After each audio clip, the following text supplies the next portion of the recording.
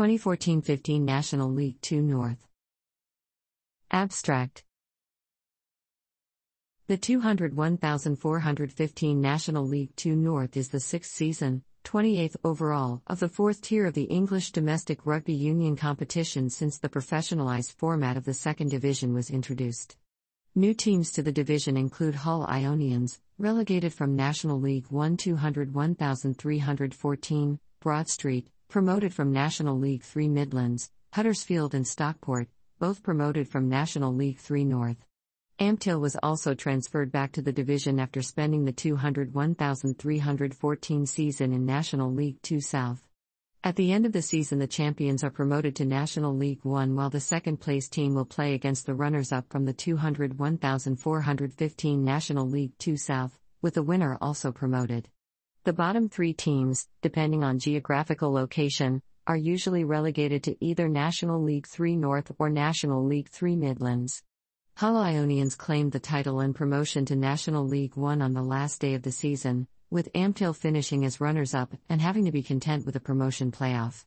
Both Hull Ionians and Ampthill were head and shoulders over the other teams in the division, with Ionians' narrow 7-6 victory over Ampthill on 24 January ultimately being the deciding factor in who would end up as champions. While the title chase was tight, the fight against relegation was even tighter. Apart from Stockport, who were relegated way before the end of the season, the next two relegation spots were contested up until the very last game with four teams in danger of the drop. In the end, Hull's defeat to fellow relegation rivals Preston Grasshoppers meant they went straight down, while Birmingham and Solihull's bonus point victory was not enough due to Luctonians' narrow win over Leicester Lions, meaning that Luctonian stayed up instead. On paper, Birmingham and Solihull had a better attack and defense than Luctonians' but were unable to translate this to enough wins over the course of the season. Stockport and Hull would drop down to National League 3 North while Birmingham and Solihull would go into National League 3 Midlands.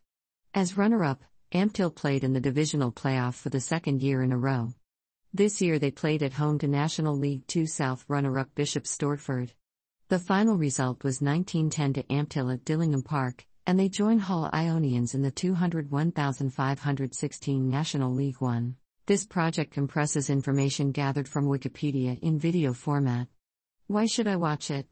Studies prove that reading while listening improves comprehension, increases speed as well as expands vocabulary and enhances fluency. Provide your feedback on the comments section. Support the channel by subscribing and liking the video, thanks.